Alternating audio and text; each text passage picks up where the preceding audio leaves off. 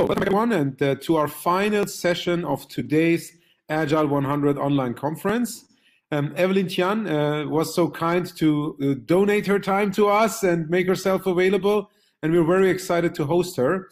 Evelyn, similar to Zuzi and myself, is a member of our global trainers and coaches community. Um, I got to know her actually at one of our global Scrum gatherings of three, four, five years ago, probably. She is one of those um, really like global citizens, uh, Chinese born, grew up in Canada, now lives in Sweden. And she worked at, at Ericsson for 21 years, led the overall um, enterprise transformation, and now has her own consulting company. And she, she's joining us, I think, from Stockholm right now. So, Evelyn, we're super excited to host you. We're very much looking forward to your to your final to your to your basically closing keynote of today's um, conference, and I'll hand the stage over to you. Okay, great. Thank you so much, Sohrab, for the introduction. Hi, good morning. I guess good evening.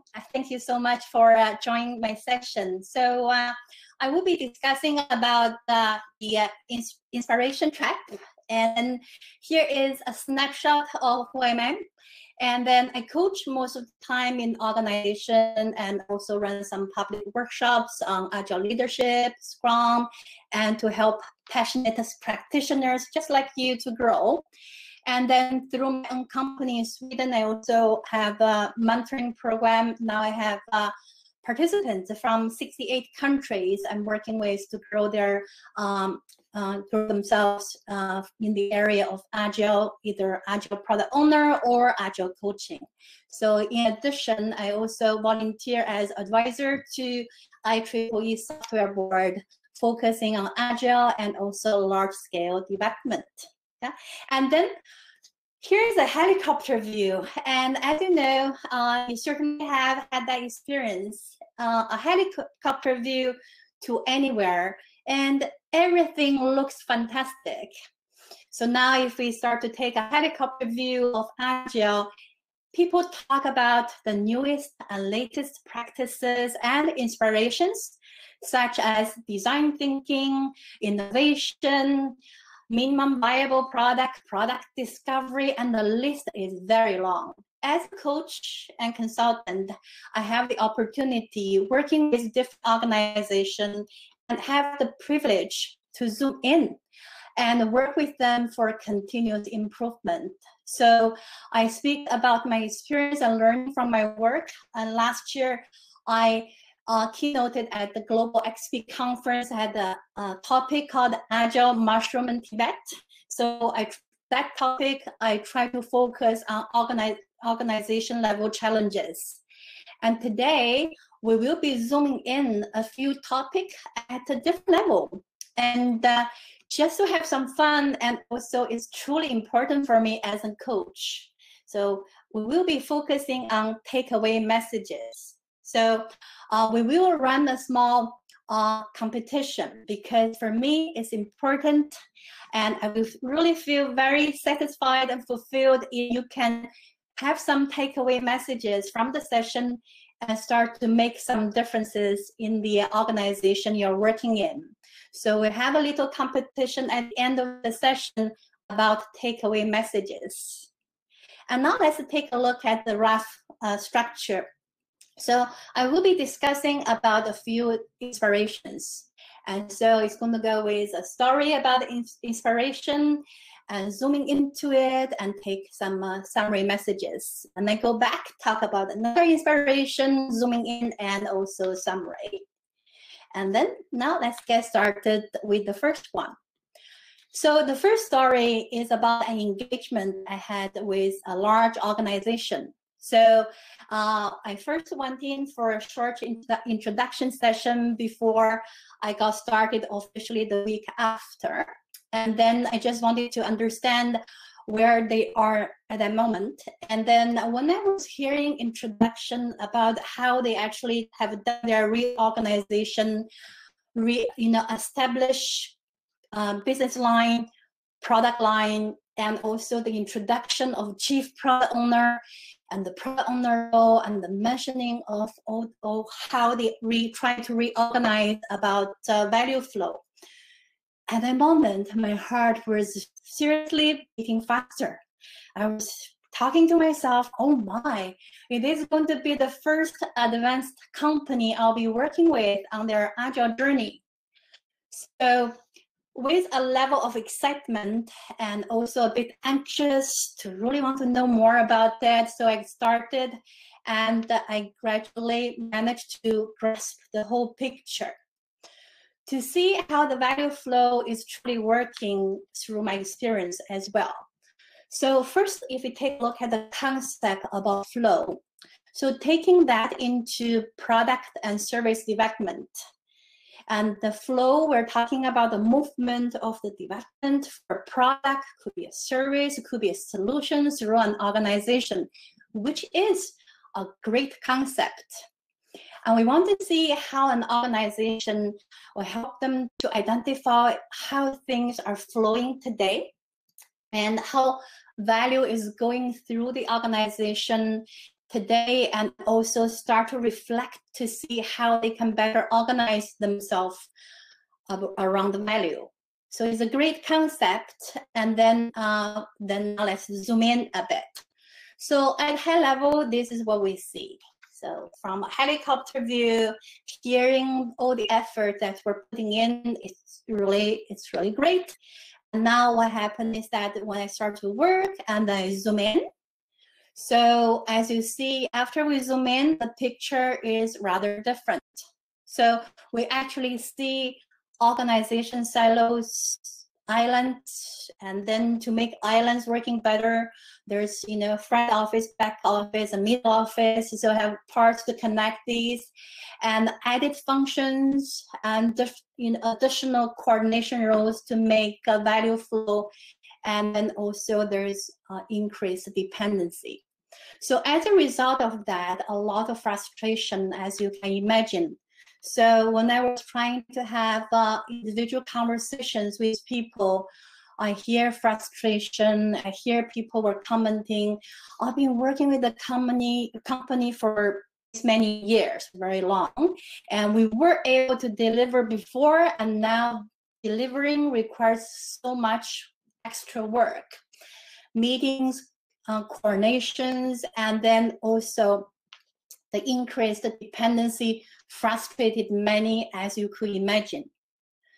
So now that's the uh, story and also zooming in. So now if we take a look at the summary, so with regards to value flow, so thinking about how value is created and reflection around it is truly, truly, truly very powerful and also very valuable. And then truly organize yourself in the organization around the flow of value is super, super beneficial. On the other hand, trying just to talk about it, sort of pretend if I could use, and try to keep the current status quo um, at the same time will be very, very costly and ending up with high dependency, frustration, and also very low return on your investment of your time and efforts in the organization. So in short, if you think about it, talking about um, talking about flow, it doesn't really make us uh, doesn't really make us flow. Yeah. So that's the summary message. That's a few takeaway message that we have for this uh, uh, the first inspiration. And then let's move into the second inspiration. Also uh, from my uh, coaching experience. So if we continue the discussion about flow, about value, I will tell another story. So while working with another organization, and I was trying to assess where they are and what they have achieved and what they have tried, what they have explored.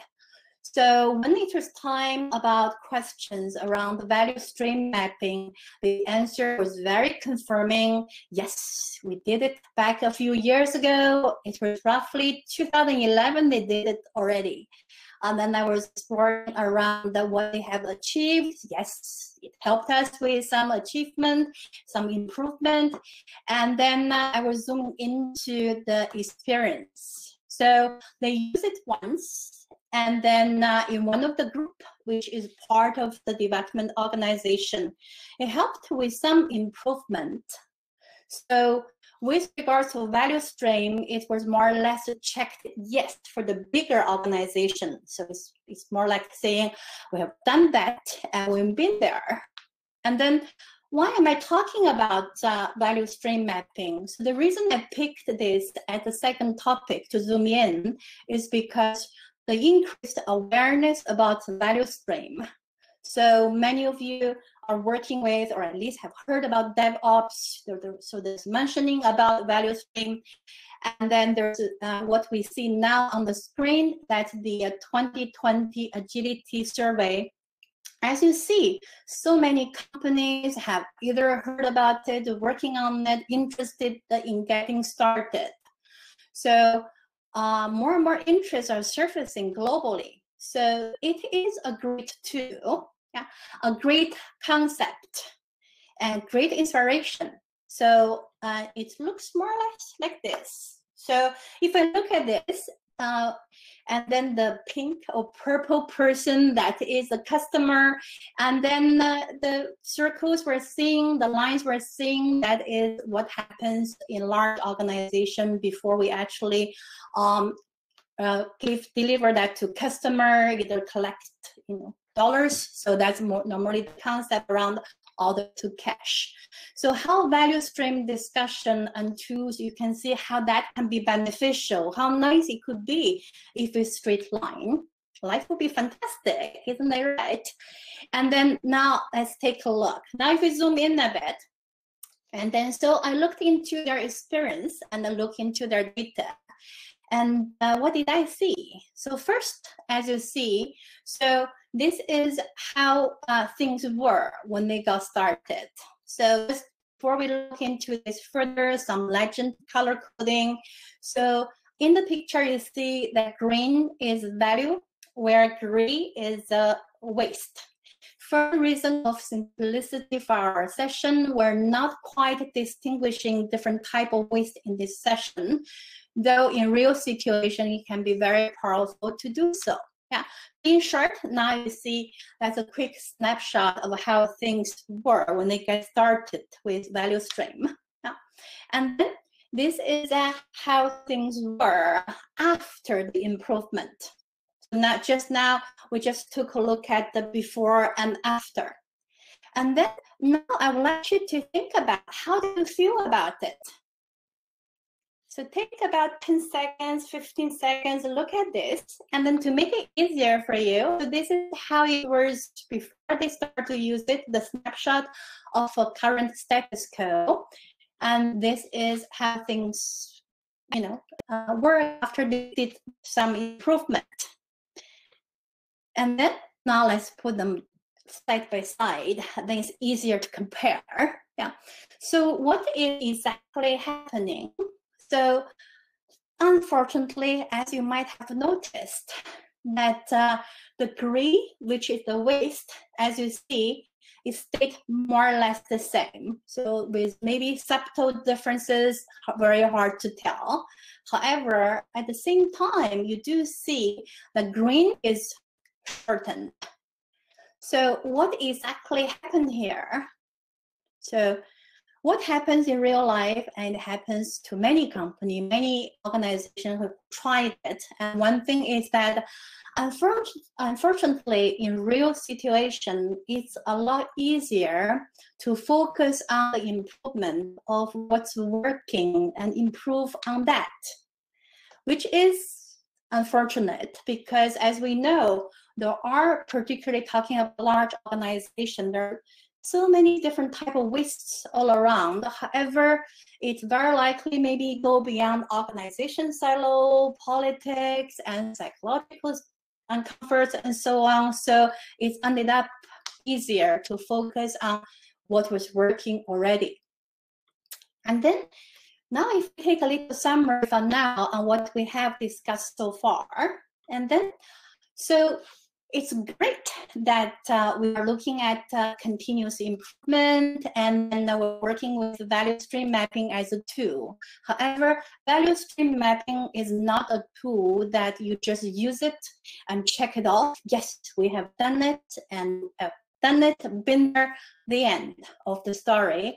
And the value stream mapping is a tool that helps for continuous improvement. It means we need to do continuous application and for continuous improvement. And then at organization level, when we're looking at the true impact, unfortunately, easier doesn't mean better. And it is easier to make what's working more efficient, however, focusing on the part that we're having trouble with that will bring us so much gain. So uh, for the story from here. So that will be a couple of takeaway messages. And then talking about value stream mapping, there's also another trend. Again, at helicopter view, everything looks fantastic. However, now what happened, if we zoom in again to look for some other type of patterns that require improvement, another thing that common, commonly seen is uh, like this. So the same legend in terms of color. And what is happening here then? So a few value streams for the same value flow. It is again what happened. It's easier to keep how things are organized and organize, uh, try to optimize the parts we have access to and not to challenge the system's status quo too much. As a result of that, what's happening to us? With all the effort we're putting in, what's happening is we're looking at, unfortunately, sub-optimization. So it happens quite a bit as well for some companies start to work with uh, value stream mapping, however, is only working on certain, is get localized. So it lead to sub-optimization. So now if we link all messages together for the discussion about value stream. So that will be the takeaway message. So in short, value stream mapping, the whole concept and also the practice is very, very super, super powerful. However, under one precondition, if we use it right. And then to make it really right, it requires some effort, as you can imagine, because there will be frustration, there will be challenges, and then, however, it will be bringing organization a lot of benefits after. So that is the second inspiration I'll be discussing. I discussed about. And now let's move into inspiration number three. So now let's uh, take a look at another story.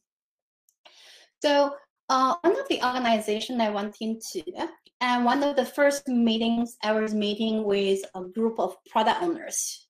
So there were a bit over 30 product owners in the workshop, and uh, everybody was doing their introduction.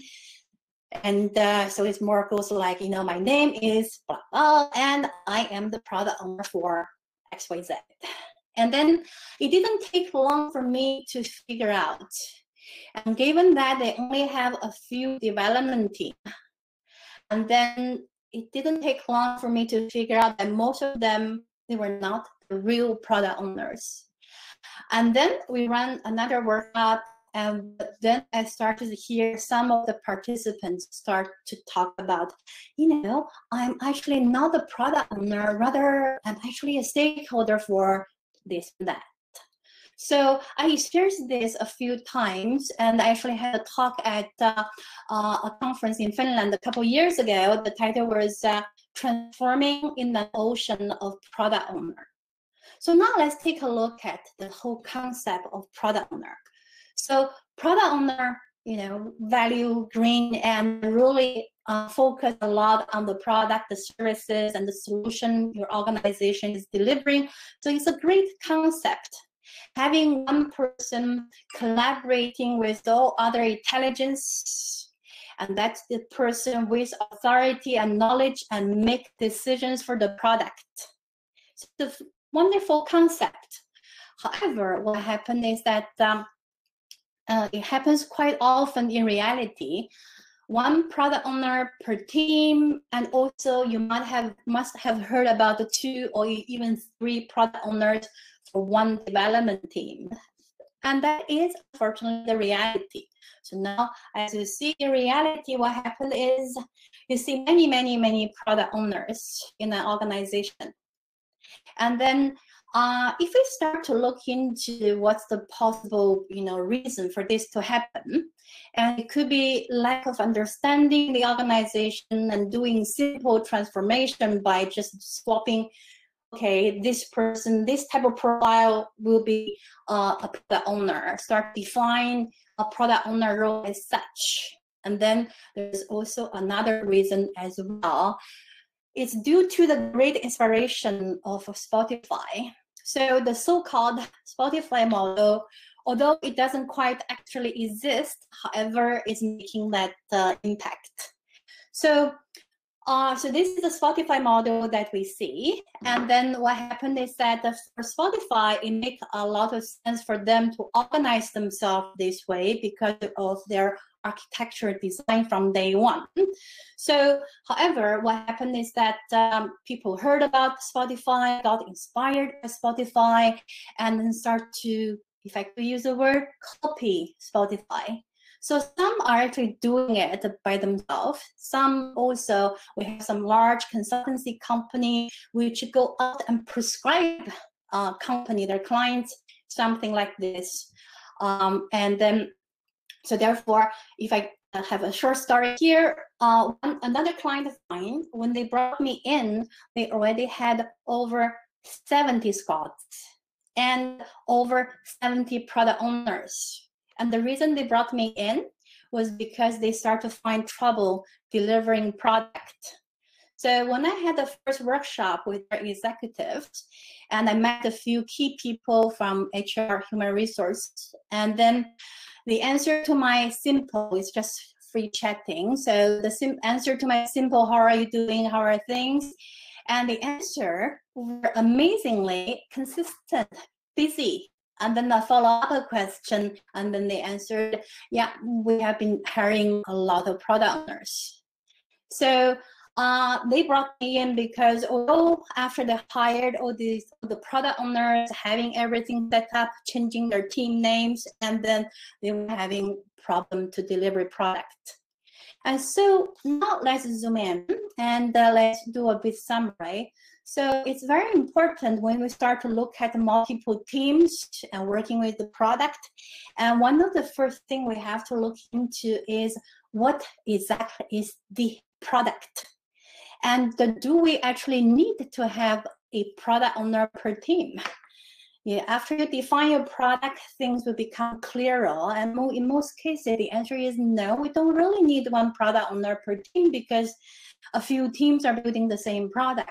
And then, and also about changing the team name because now I hear from my students and also my mentee from different country, North America, we're talking about SPOT, about uh, tribes, and the same happens to Asia Pacific, and same happens in Europe as well. So there is no so-called Spotify model. So following the so-called and also non-existing model will unfortunately lead to problems. For instance, if you did hire, for my clients, hire more than 70 product owners, then you realize you don't really need that many after you start to introduce improvement what do you do with all the 70 plus product owner just hired not so you know so long ago so in short one way or the other we're actually creating problems we have to solve in the very near future in some cases so that is about the third inspiration around product owner and also the so-called Spotify model and then uh, let's look at the last one. So let's look at the last one that is um, about, I know I'm working as an agile coach as well. However, the next one we'll be discussing is about agile coach. So I work with uh, agile coaches from different uh, continents, different country, and so I have had the privilege to talk to many. normally a simple opening chatting conversation will start with something like, for instance, how are you doing now as a module coach for blah blah product or company and so on. And then the answer is yeah i'm doing well i'm doing quite well. Depends on their personality of course. Then tell me more. How are things around you now? Uh, my teams are all working with sprints they run sprint planning. They do their daily scrum and they do, do our sprint review and we do our sprint retrospective. Wow great you know? Uh, what else and then my teams are collaborating very well. And then um, then they will continue start to talk about how some of the team they work with went through if we talk about Tuckman uh, team stages went through forming or maybe the team they started to work with they were actually storming and then how they helped them to improve from storming to norming which is all fantastic and then uh, then i continue ask some questions a conversation continues like this, the focus is always on the teams. So sometimes, you know, I run class, I joke, I said, you know, um, if I approach a, for instance, I approach Sohrab and I, you know, he's my candidate customer, and I tell him, you know, this is my product. It's built by 20 agile teams. Unfortunately, he will not pay me more because the product is built by agile teams or squads or um, Scrum teams, and he's going to pay for the value of the product. So therefore, now what happened? Now, if we take a look at the Scrum Master, the Agile coaching role. So Agile coach is a role that's becoming more and more popular. So it is indeed a great role, and I have a lot of passion for it. And then that is a role that's supposed to help be able to be the expert about agile frameworks, Scrum and Kanban, if you're working with product development, having hands-on experience about the XP technical practices, that's definitely all helpful. And also being able to teach, you know, around Scrum, around Kanban if that's needed, and to mentor if it's needed, and to consult if that's needed, and to facilitate and to use professional coaching skills if that's needed. And all of these we're doing is to help the organization to improve. And now what happened is that um, if we zoom, we zoom into reality, so uh, I see agile coaches, some of them are working as project manager, but wearing an agile coach hat. And then some of them are working with somewhere in between, a little bit, a little bit, and some are more working as team leaders. Of course, depends on what roles your organization had before. And then now if I also add in a short story. So I had one of my clients, um, the week, the first week I was there, over lunch table, you know, a few people I just had coaching session with, and we chatted, and we were having lunch and they were doing some checking and then uh, then they said you know evelyn you're different so I try to figure out, you know, I'm different, sort of different, you know, a uh, uh, Canadian living in uh, Sweden. Yes, I'm different. and then, uh, then the answer I was asking them about, you know, what, what, what is the difference? What do you guys see? And then the answer after they talk about, they said, you know, you don't ask us, what do you think? Then they elaborated some other agile coaches they worked with, and no matter what they asked them, and the default answer was always, "What do you think?" And then, however, for some situation that they have no clue, they were under a lot of pressure, and the energy level was very low, and then um, they have tried different things, and then that make them really frustrated. So then what happened is that um, exactly as uh, if you zoom in as an agile coach, and then uh, exactly if we say, you know, this is actually my new thought because what happened is during COVID, as we know, all work is done virtually. So I have a desk that actually I can adjust so they allow me to stand. And I got a balancing board. So what you see now is my balancing board. And this allow me to stand on the balancing board and then help me to exercise a bit. And then at the same time, when I was doing this, it actually helped me to visualize and feel how an you know how an agile coach can make use of their skills. So agile coach is not project management you know is not to do team leading role and then uh, so exactly what skills that can be important so now, you know, I drew this with five separate areas. How about if we do a bit of collaboration and interaction? How about if we have a one minute, now exactly 7.30 my time, and then we run one minute from chat window. If you could enter, what do you think you know these five different areas about agile coach skill what do you think they might be so if you run it roughly for one minute you can just enter, you know, your immediate thought that comes to you. And then Sohrab, I have to bother you to help me to read what came in. So now I have roughly 20 seconds passed. So whenever answers come in, so we yeah. get the first one, says teacher. Fantastic. Okay, great. What else?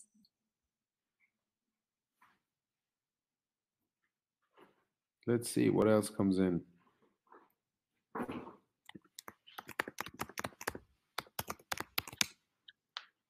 Now we get mentor, inspire, coach, people developer. Okay, great. We have five more seconds. You can hit the enter if not yet. Facilitator, advisor. Okay, very good. Yeah. Yeah, very right. good. Yeah, great. Thank you so much for the input. And uh, then now let's take a look. So what I have here, and I believe uh, based on my experience, that's important. Teaching certainly because you are um you're the you know the expert in the area and at the same time you can you should be able to mentor as well and there could be also the situation that maybe you have taught you actually also have mentored. However, given maybe the, uh, for instance, I have experienced when I went in the organization, the energy level was very low already, and there are a lot of pressure, and people start to question, you know, is it even right to do it? And then to question the strategy of uh, working with Scrum, working with Agile, and then, uh, you know, a balanced situation, I switched to consulting so that I could uh, start to recommend a couple of things so that we can generate some positive energy in the organization and then some faith, some positivity. Then the moment possible, I switch. And then there's also the area about professional coaching. And then uh, and then there's also facilitating. So a few of that, and some of you I heard advising. Certainly, that's cool as well. Yeah, and then now if we talk about what's happening now, is that uh, in addition to you know people are working as an agile coach slash project manager and slash and slash, and there's also I see a heavy movement to professional coaching skills and I took my professional coaching school uh, training about 10 years ago, which I loved a lot. And then it's indeed great. It's not only good for you uh, as a person, it's good for you for work, it's good for you even, for instance, in your uh, uh, private situation with your family, friends, and so on. It's great. And at the same time, I also want to highlight the fact that it is only one of the many skills agile coaches should have. So not the only one. Therefore, taking agile coach, coach you know, if I'm standing on my balancing board metaphor, and um, if you take that to organization level, so it's in the way, you know, standing on it and continuously balancing ourselves to see, you know, assessing the situation, continuously balancing ourselves and to decide, you know, how I will act. Yeah. And then, so now, you know, I see me as an agile coach standing on my balancing board, having the skills, and at the same time that I need to go into an organization. So then what happened is that the next thing uh, that's very important is, as I mentioned, many agile coaches are focusing on teams, which is again great. And at the same time, we want to see the entire organization as an entire system. So then another thing is important for agile coaches to continuously evaluate which areas of this organization that I should be focusing on. That is something that's important to evaluate. Yeah. And then uh, there's certainly there's a certain trend. For instance, now if you take a look at all the possible areas, um, if you see this organization as a large arena, then there's the agile coach and on my balancing board, and I assess the situation. I could, for instance, as a new Scrum Master, new Agile coach, most likely I start to work. I feel more comfortable as well working with teams. And then maybe a bit with the product owner, depends on the situation. However, if we're talking about Agile coaches who are truly passionate about helping your organization to improve, and then there are also other arenas we need to work with. So how is our product doing? And also leadership team. And then also about organization level of improvement. What are we doing now? And then also about the strategy where is my organization going? Organization can be big maybe have different product lines and how each product line is doing what the strategy moving forward are we really facing very hot co competition? What can we do to get out of there? And also in terms of whole organization in terms of culture and structure. So in short as an agile coach again standing on my balancing board and we travel as we see needed, we assess the situation into different areas or different arena in this large organization arena. And that is uh, very important so that we're not, because normally with if for a new agile coach or new scrum master just getting started, they focus on teams and teams and teams. However, we need to look up other areas, other small arenas uh, in this big organization arena. And then, so now if we take a look at summary, and then, uh, so as we see, it's very important that we build the skill. And then the second one is being able to balance the skill we have. So for every, you know, when for the organization you're working in, being able to assess and evaluate and then that way you continuously doing so they can continuously travel into that small arena in this big setting going in there again you're always standing on your balancing board so that allow you to decide oh yeah i should actually go in to teach. Maybe now i could actually go in. Oh given the situation i could actually use more of the professional coaching skills. However that is not the only default uh, standing of an agile coach. And this is why that uh, um, an Agile 100, Sohrab and Susie, when they reach out to say you are code. And this is something I've been working with. So when I work with coaches, I always talk about value. So in an organization, when we are working with an organization, if we don't have this value-driven strategy, and you can have the most fantastic team, and the team can only be so good actually one of my mentee in Taiwan, and his company actually just bankrupt because they have very good teams, quite good competence, and then very mature also in terms of uh, team development. However, the product sucked, the strategy sucked. So therefore, uh, it's very important to focus on value-driven strategy. And then now if we take a summary for our session. I hope that uh, remember the little competition that uh, uh, I talked about. So I hope that it kept track of all the takeaway messages from each of the topics. So uh, now how about in uh, three minutes, please use chat window to send in as many takeaway messages you can. And then for the winner, so Sohrab, of course, would do me the favor to count. And then I would love to offer you free monthly coaching circle activity, which I run for my mentees. And then it will be free for you to join on a monthly basis. And you will meet people just you know, passionate practitioner like you from uh, different countries, 68 countries as of today. So now if we, uh, let's get ready. So now is 39.20 on my clock. So we run it for three minutes. Now you can start. So Evelyn, how do you determine the winner then? We, I, is it the is it the quantity of of responses yeah, or?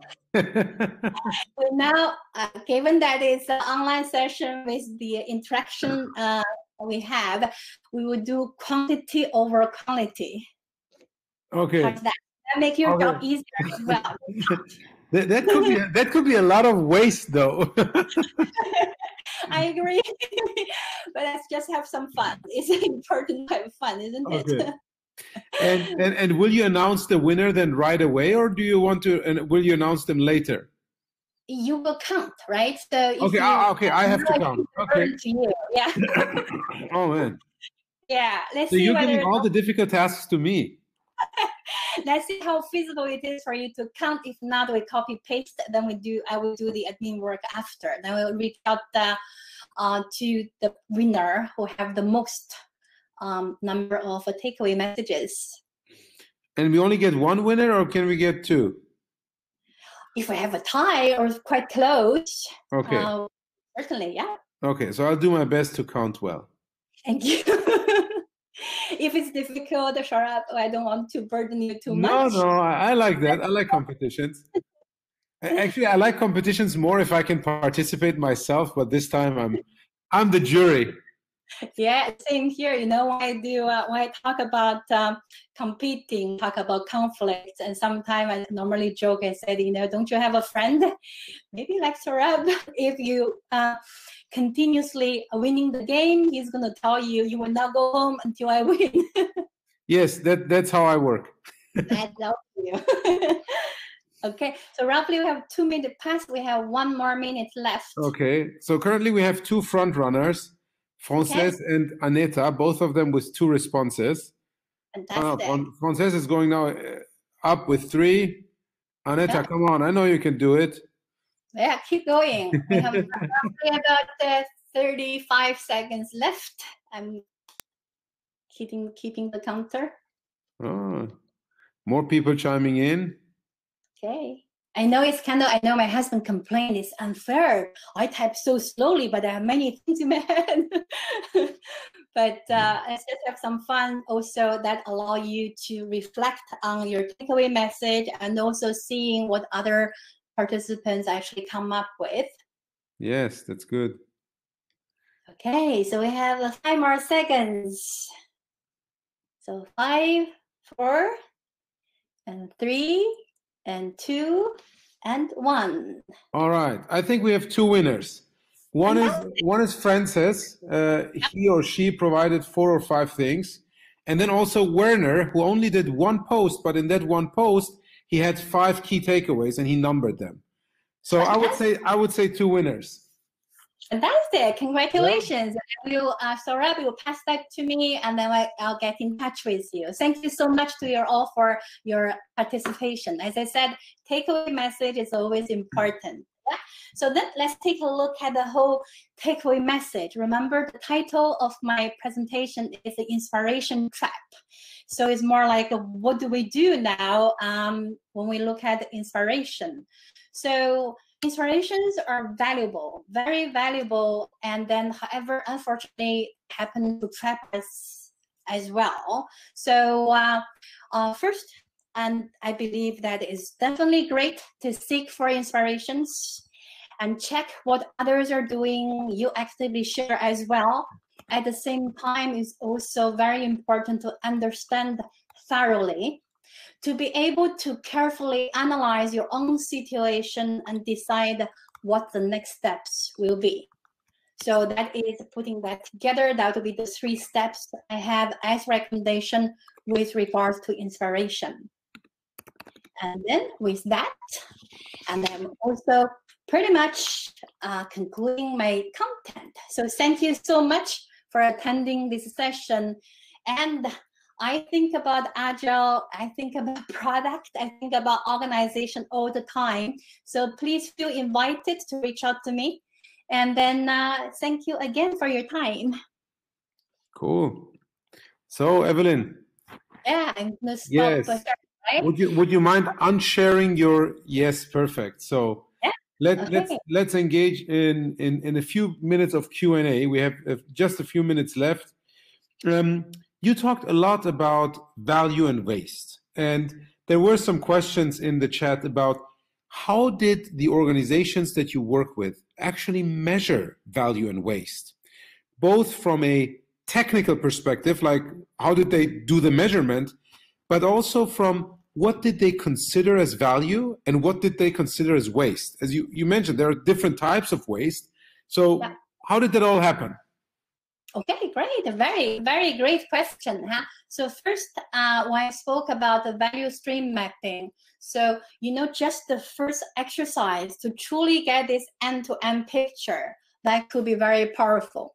So many organizations, these were of course talking about large organizations, they actually have trouble to put the whole end-to-end on the same page. So normally when I facilitate such a session, you know, um, I have actually have not done that virtually. So physically, you know, the whiteboard that's a few meter long. Normally, I start to introduce what they need to do and ask them to actually start to draw the very beginning. We have that customer interaction, blah blah blah, and goes on until the moment we actually deliver to customer. And normally, actually, I normally sneak out for coffee. Do you know why? Because it will be start to have very hot discussion and to actually start to figure out, okay, after I finish, what, what do I do? Or it's like, where do I get this? So all these discussion, just a preliminary preliminary step to actually have that uh, visualize. That's already one step forward. This again, we're talking about the whole entire value flow. Yeah. And second thing is about the question of about how do you know what's value? And then that is depends on, of course, remember I kept mentioning about your product and your services or solution. So that in different context, you need to define exactly what is the value we're delivering to the customer and how that gets started and how that actually get delivered. So that can be something very important to, to focus on. Another thing about how do you actually identify waste? Once we get this first uh, and you know from the moment customer comes in and the, the, at the end we actually deliver that to the customer the next thing we want to do is as a simple step as uh, uh, my presentation slides showed having start to identify just from the simple calendar time to start to use the basic value stream mapping tool to say, okay, for this particular thing I'm doing, for instance, analyzing the customer needs. Yeah. And then the thing is that because of all these multiple value stream in the organization, because every a lot of multitasking that's happening, although to analyze what exactly Sohrab's needs are, and actually, let's say I actually, if I could sit down, it's actually only take me a day. However, because all the things that's happening, and then maybe I spend five calendar days. So start to look at just from a timeline perspective, and also looking into what are the things that actually, you know, that actually lead to wait, the waiting time. Because if you're producing something in the hardware manufacturer floor, you can visualize. If, for instance, assume I'm too fast, then Sohrab will have a lot of things piling up. We can visualize it. However, in most cases, product and also services, there is a queue. However, we don't see it. So with this, it's, it's going to help us to see exactly what's happening, to see with that as a trigger to reflect on how we work. Okay, cool. But but I mean, it, it, it's not easy, right? To to do this. Well, even depending also on the industries that you're in, I think there can be some difficulties. But creating this must uh, must have been like very insightful for everyone in the organization, especially the the leaders in those orgs. And and then it would be interesting to know like what kind of what kind of decisions did they take based on that. Now I'm going to leave the the, the world of waste and, and value a bit because there was another question from Yeah. Jörg, and uh, I think this is related to your very international background. He wants Okay. to know: Do you see differences while introducing agile in different countries, cultures at the globe? As you've been China, Europe, mainly like Scandinavia, but also probably in, in the US and Canada. Yeah. So I do see a difference. For instance, uh, I back the days I was working in Ericsson, I was dispatched in Asia. For instance, just a simple example, when I was working with the leaders in Japan uh, within Ericsson, so you already sort of Ericsson culture in there. What happened was that after, for instance, I talk about something, what do you guys think? Which, which is a powerful open question. And then what happened? Silence and then that you have to you have to learn about the culture, which is Japanese. Instance, in general, of course, um, you know, if people have been living abroad, this could change. And then if they still have eye contact with you when you ask, that means I want to speak, call my name. Uh, if I don't have anything to say, I'll look down when you're asking. So that is certainly already one angle. And I run uh, a workshop and exercises and also culture part, also people react differently. Mm. Uh, for instance, in Sweden, as we know, there's a culture of uh, people are relatively conflict aware. So working as coaches, particularly working with executives, my, I always joke, my ears are like a rabbit ears, so long, trying to really read the emotion and the words they're saying because they are not like, for instance, uh, in some other culture in North America, I could see one of my clients, the people say, yeah, I quite agree with you, Sohrab. And that you will not see. Uh, then instead is more from the long message and the embedded messages I don't agree with you. So there's definitely a lot of that. Uh, uh, so therefore, that culture aspect, yes, you have to consider that. And now people are working you know, uh, very internationally. People are moving around. So maybe in your team, you actually maybe a team of eight people. You might actually have uh, people coming in from three, four, maybe even more countries. So that's a factor we need to consider. Yeah. At my company, actually, we are a team of eight people, and we are from six different countries. So we're quite international. All right, Evelyn, we're at the end of our time box. Um, we so appreciate you joining us. Thank you for that presentation. Thank you also for the competition that you ran and the, and the two winners. One of them I already emailed to you um, their email address. The other wanted to contact you directly based on having your email address on the on the final slide. Thank you so much again, and it was great hosting you here. Thank you, and thank you again. Bye.